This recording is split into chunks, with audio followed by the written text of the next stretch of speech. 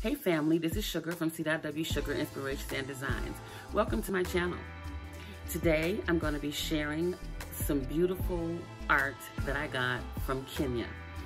I didn't go to Kenya, but uh, a dear friend, uh, Joyful, gave me some pieces that her sister, Esther, who's a missionary in Kenya um, and the continent of Africa, uh, sent her, and she in turn sent it to me because she knew I was going to go with my Afrocentric theme to put my mud cloth from Ghana. So I am so excited. It turned out nice, I do believe. so before we I show you that, I just want to welcome you back. If you're already a subscriber, thank you so much for being a part of the family. This is the celebration month. I've been doing this for one year. I believe it was May 11th. So I am really celebrating being able to post a video every week since May 11th. Wow. I don't know if I can keep it up. I hope to keep it up. But uh, thank you for coming along with the journey. Thank you for each and every one who said comments and just liked or just looked. Thank you so very much. And so, and those who are new, if you want to subscribe, feel free just hit the notification bell. I post every Sunday.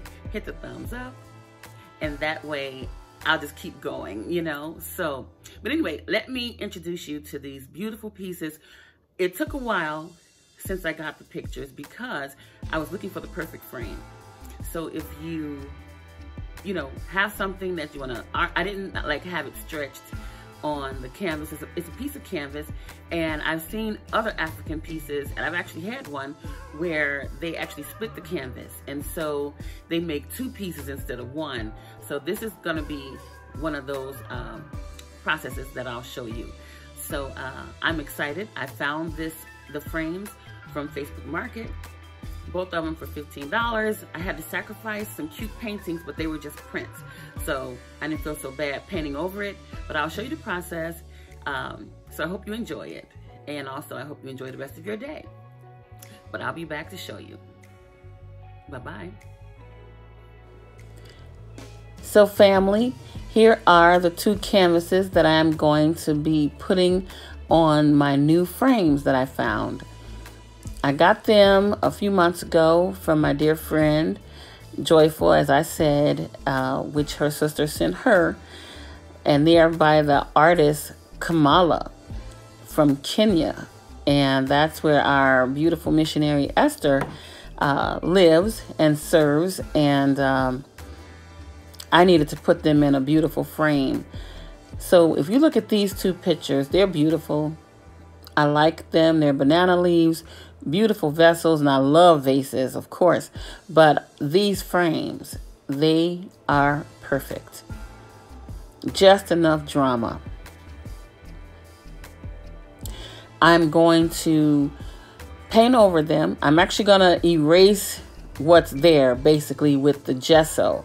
That's, um, I used it before. That's what you artists use to cover a canvas when they want to repaint paint over a, one that's been used or cover mistakes. And this is not a mistake, but I need the frames. And um, yeah, so it's a really good product. And then I'm going to use some Mod Podge. Now, this is what I'm going to adhere the canvases to when I'm putting them on those uh, two pieces of art that's there that I'm going to paint over. I'm looking forward to what it's going to look like. Um, so yeah, this is what I'm going to be using. I love these two pieces, but they're not art. Uh, I mean oil. They're just a print um, put into some beautiful frames. So yeah, we're going to get started with this. So I'm going to put it on the uh, time lapse. And uh, yeah, we're going to get started because I think these two pieces are going to fit perfectly in the middle. But you're going to have to picture them without the two vases. So yeah, this artist did a really good job. It's like the sun over a little choir. I think it's so adorable. And uh, I didn't want to put them behind glass. And those are the frames that I saw at Hobby Lobby. So looking at them together, it's like the sunrise and the sunset. So they are going to be really pretty. So I'm hoping my vision comes to pass. So I'm going to go ahead and um, get going with the time lapse so that we can see what it's going to look like. So let's get started.